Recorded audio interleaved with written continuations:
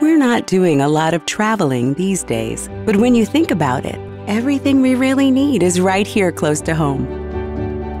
Like world class ortho care at St. Tammany Health System. Many firsts, many smiles.